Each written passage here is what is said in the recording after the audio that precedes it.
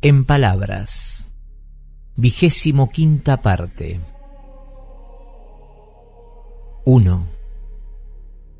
El hecho de subestimar a otro ser vivo conduce al individuo errado y cegado por su soberbia e ignorancia al sufrimiento en el ser al que daña deliberadamente y al sufrimiento futuro en sí mismo cuando el universo le muestre su error supino a través de los hechos de su vida cotidiana.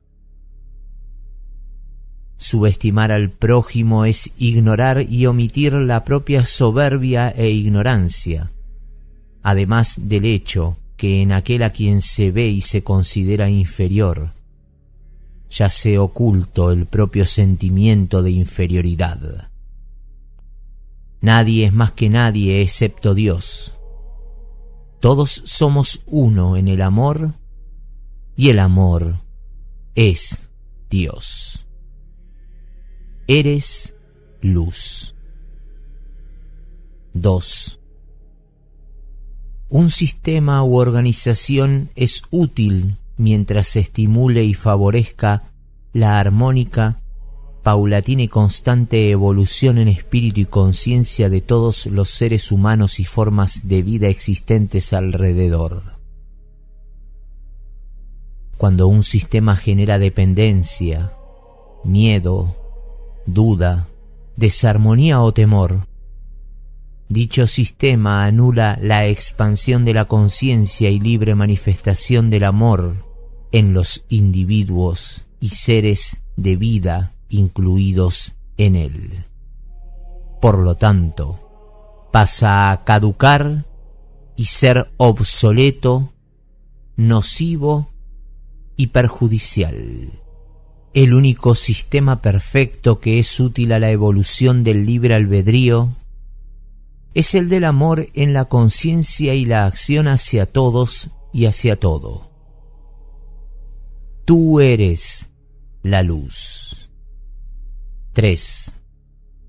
Fuerte no es el que usa la palabra con astucia y argucia para beneficio personal o para dominar a los demás, sino aquel que sabe escuchar, observar y callar con humildad, paciencia, tolerancia, discernimiento y amor, tomando lo que escucha como una oportunidad para aprender a discernir la verdad y la falsedad de eso que escucha, cotejando lo escuchado con la sabiduría y la verdad divina existente y presente en la esencia divina interior de su corazón. Quien es puro de mente, espíritu y corazón, es quien solo se manifiesta en la humildad y el amor, y quien puede distinguir la verdad de la falsedad por vivir permanentemente en el amor. Tú eres la luz. 3. El que es pequeño y limitado de mente es quien ve al otro inferior o pequeño porque no reconoce su propia limitación, su falta de amor propio y su propio sentimiento de inferioridad, autoengañándose con su falsa grandeza, producto del engaño de su ego y soberbia, que sólo puede provocar sufrimiento y dolor. El que es grande de mente y corazón, reconoce y ve la grandeza en todos y en todo lo que lo rodea, exaltando lo perfecto y bueno en cada ser vivo existente a su alrededor, viendo y reconociendo en la grandeza de los otros un reflejo de la suya propia. Solo las grandes almas reconocen y multiplican la grandeza en todos y en todo. 4. No es necesario competir para demostrar, ganar y ser feliz. Porque todos somos únicos, necesarios e importantes para Dios, el planeta y la creación. Y cada uno tiene un lugar único y un propósito existencial que nadie puede reemplazar. La felicidad no deviene del parecer, demostrar o superar, sino simplemente deviene del ser uno mismo, la naturaleza de lo que cada uno es, una expresión del Creador.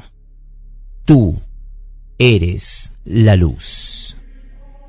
5. Mientras te distraes utilizando inútilmente tu tiempo y energía de vida, en ubicar erróneamente tu atención sobre lo que hacen los demás, dejas de enfocarte en lo que te corresponde hacer a ti para servir, cumplir con tu propósito existencial y divino, y evolucionar en espíritu y conciencia.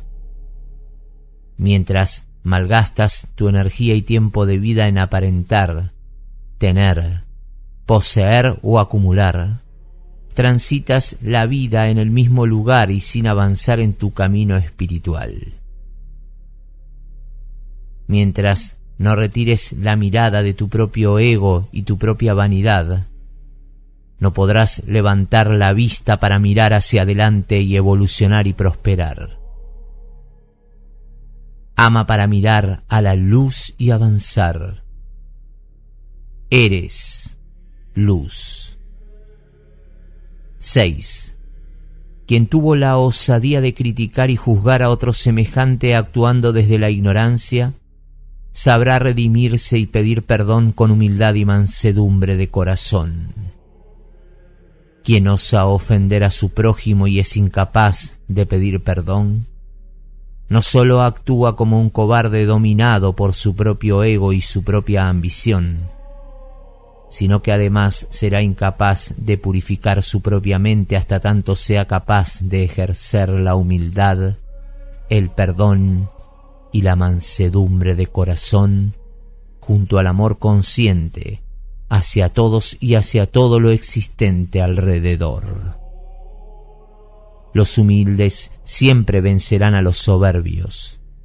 Los bondadosos que aman con discernimiento divino fe y amor hacia el Creador y hacia todo lo existente a su alrededor, prevalecerán y vencerán a los necios que se mantienen erguidos sobre la soberbia, el egoísmo, la mentira y el error. Los malvados quedarán con las manos vacías y colmados de hastío, dolor, tormento y vacío interior, mientras que los justos, amorosos y mansos y humildes de corazón quedarán colmados de paz, dicha, felicidad y armonía interior. La luz. Eres tú. 7. Cada uno ubica el foco de su atención conforme a su estado de conciencia y evolución.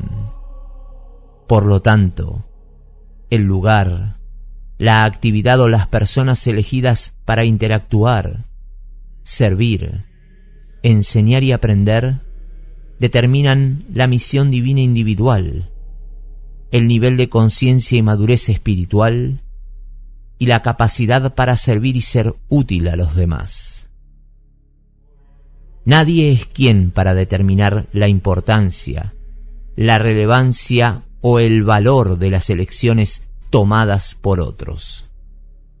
Por lo tanto, si quienes te rodean no aportan nada o no estimulan tu proceso de evolución espiritual a través del servicio amoroso, no critiques ni condenes. Ama y cambia el foco de tu atención para dejar de regalar tu tiempo y energía de vida inútilmente. Elígete a ti mismo y manifiesta al mundo la luz de tu esencia interior. La luz eres tú. 8.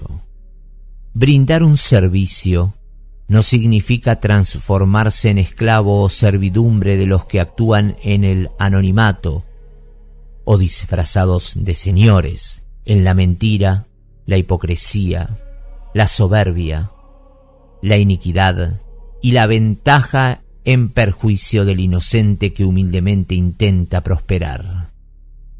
Trabaja para vivir en vez de vivir para trabajar.